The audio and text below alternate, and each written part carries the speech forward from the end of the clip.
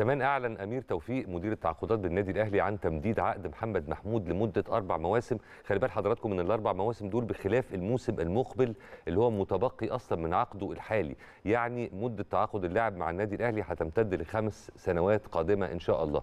جه توقيع محمد محمود على بياض.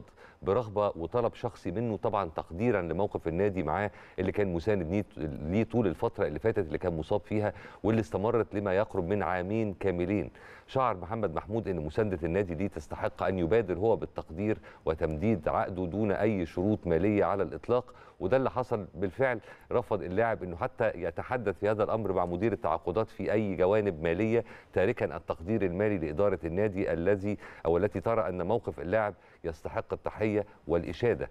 أكد محمد محمود إن الكابتن محمود الخطيب كان داعم ليه بمنتهى القوة طول الفترة اللي فاتت لا سيما في الوقت اللي كان بيحتاج فيه إلى كل أشكال الدعم والمساندة. وأشار إلى إن الكابتن محمود الخطيب اتكلم معاه كتير بكلام مؤثر للغاية للشد من أزره ومن عزيمته طوال الفترة الماضية. شيء محترم كالعادة من النادي الأهلي وبرضه امتنان برضه محترم جدا من هذا اللاعب وبنتمنى له أكيد كل التوفيق. بص النادي الأهلي مهما حصل يعني هتلاقي إن هو في الأول في الآخر بيدعم أي لاعب سواء بالانتقال أو بالاعاره يعني هنتكلم هنا عن محمد محمود أو هنتكلم عن بادجي. هو بادجي كان معار زي ما حضراتكم عارفين من سنة دلوقتي خلاص هينتقل للنادي. أكيد برضه الأهلي بيتمنى ليه التوفيق في المستقبل ليه. ف فاهم يعني اللي أنا عايزة أقوله إن أي لاعب بيكون في إعارة أو بيتم انتقاله برضو ده بيكون إلى حد ما بيعكس النادي الأهلي فإحنا طبعا. بنتمنى التوفيق. ودايما العلاقة طيبة على فكرة مع لعيبة كتيرة جدا تمت إعارتها وتم كمان انتقالها تماما من النادي الأهلي. لحد هذه اللحظة الكلام ده بقوله لحضراتكم أكيد يعني حضراتكم عارفين ده يعني. فدي نقطة كويسة جدا فكرة الاحترام اللي